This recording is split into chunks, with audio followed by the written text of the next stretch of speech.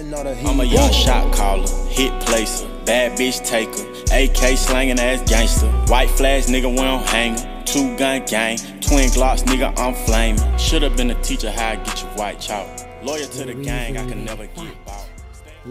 Yo guys, what is going on? I'm bringing you the updated version of the guard's outfit from um, Squid Games. As you can see in my previous video, I gave the guy like a red jumper, but one of the comments pointed out that I could actually get um, red overalls, which I completely missed on my first uh, purchasing, like when I was looking through the outfits. Um, and personally, I believe it looks a lot better than the uh, the red jumper and pants.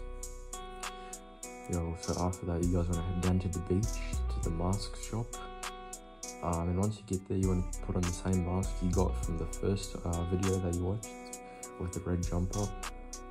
Um, but since it's an updated version, I mean, I'm still sticking with the same mask, but you can buy the red overalls from the shops. It's pretty uh, simple, and then you just want to find the mask. And I still believe this is the best mask that fits um, the character, or the characters, I should say. And um, I think that's the best I can do now. I mean, it looks better, like it isn't so bright, and it's kind of more like like dark red, if you get me, I like the show.